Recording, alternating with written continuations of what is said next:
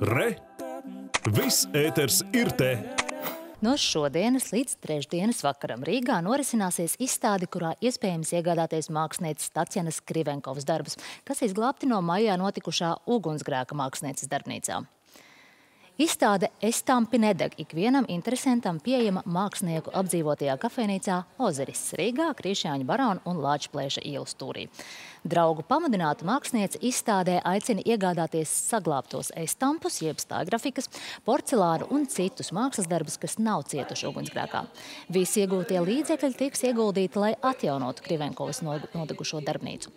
Savulaik Purvīša balvai nominētā māksliniece darbiem raksturīgs lakonisms, formas tīrības, tīrība un skaidra izsmalcinātība. Pelnīti atzīstot Krivenkovu par vienu no ievērojamākajām abstrakcionisma gleznotājām Latvijas laikmatīgajā mākslā. Izstāde atvērta līdz Jāņiem no pulksten 10 līdz 21.